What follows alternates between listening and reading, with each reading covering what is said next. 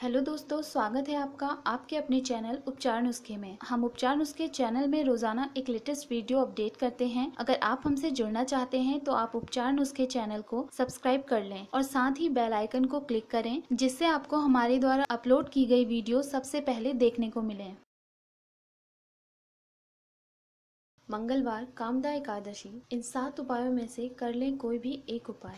चैत्र महीने शुक्ल पक्ष की एकादशी को कामदा एकादशी कहा जाता है। कामदा एकादशी को भगवान श्री विष्णु का बड़ा और महत्वपूर्ण व्रत बताया गया है। साल 2018 में यह व्रत 27 मार्च यानी कि मंगलवार को है। ज्योतिष शास्त्र अनुसार ऐसा माना जाता है कि यदि कामदा एकादशी पर कुछ विशेष उपाय किए जाएँ तो आप हर मुसीबत का सामना कर सकते हैं। तो चलिए जानते हैं कामदा एकादशी के व्रत, पूजन और इन सात उपायों के बारे में। सबसे पहले बात करते हैं कामदा एकादशी व्रत महत्व और विधि के बारे में। ग्रंथों के अनुसार कामदा एकादशी का व्रत करने से सभी प्रकार के पापों से मुक्ति मिलती है। एकादशी का यह व्रत सभी कष्टों का निवारण करने वाला और मनोवांछित फल देने वाला है, जिस कारण इसे कामना पूरी करने वाली कामदा भी कहा जाता है। कामदा एकादशी व्रत की कथा और महत्व भगवान श्री कृष्ण ने धर्मराज युधिष्ठिर को बताया था और इससे पहले वशिष्ठ मुनि ने राजा दिलीप को इस व्रत का महत्व बताया था। कामदा एकादशी व्रत के दिन सबसे पहले सुबह स्नान करके व्रत का संकल्प लेना चाहिए। इसके बाद भगवान श्री विष्णु की पूजा करनी चाहिए। पूजा में भगवान विष्णु को फूल, फल, तिल, दूध, पंचामृत आदि चीज़ें अर्पित करनी चाहिए। एकादशी व्रत के बाद द्वादशी तिथि को ब्राह्मणों को भोजन और दक्षिणा देने का भी महत्व बताया गया है। जो लोग चैत्र शुक्ल पक्ष में कामदा एकादशी का व्रत रखते हैं तो कहा जाता है कि भगवान उनकी सभी मनोकामनाएँ पूरी करते हैं।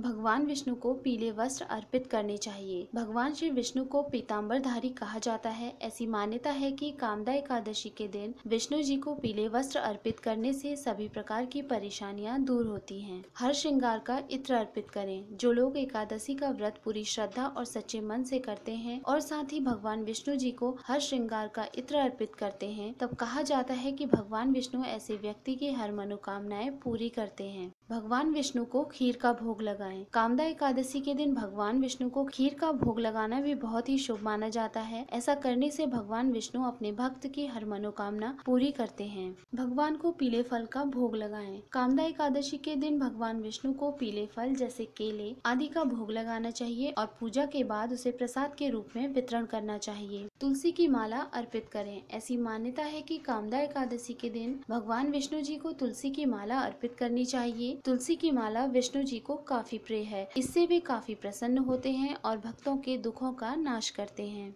पीले रंग के मेवा मिष्ठान चढ़ाएँ। कामदा एकादशी के दिन पीले रंग के मेवा मिष्ठान भगवान विष्णु जी को अर्पित करने चाहिए इससे भगवान विष्णु की असीम कृपा प्राप्त होती है और जीवन में आने वाली सभी प्रकार की कठिनाइयाँ भी दूर होती हैं। पूजा में कमल का फूल अर्पित करें शास्त्रों के अनुसार एकादशी के दिन भगवान विष्णु जी को कमल का फूल अर्पित करना चाहिए कमल के फूल के अलावा आप पीले रंग का फूल भी पूजा में इस्तेमाल कर सकते हैं ऐसा करने से भगवान का आशीर्वाद अपने भक्त पर हमेशा ही बना रहता है। दोस्तों, अगर आपको हमारे द्वारा दी गई ये सभी जानकारियाँ पसंद आई हों तो आप उपचार उसके चैनल को सब्सक्राइब लाइक और शेयर करना ना भूलें।